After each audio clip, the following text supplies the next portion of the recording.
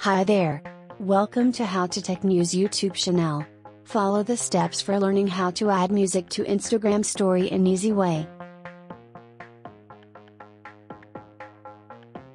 Dash Step 1 Open the Instagram app and tap on your story icon in the top left corner of the screen.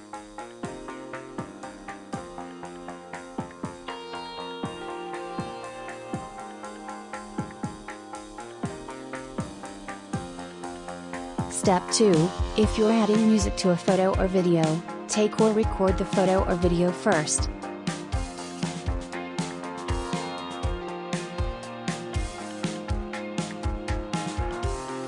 Step 3 Tap on the sticker icon in the top right corner of the screen.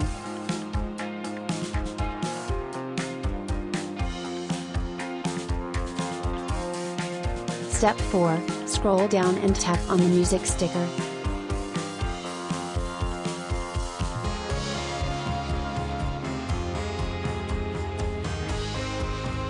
Step 6 Search for a song by name, artist, or genre. Step 7 Tap on a song to preview it. Step 8 Once you've found a song you like, tap on the Add button. Step 9 The song will be added to your story.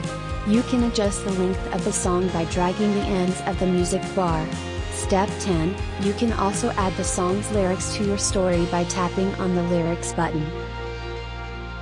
Step 11 When you're finished, tap on the share button to post your story.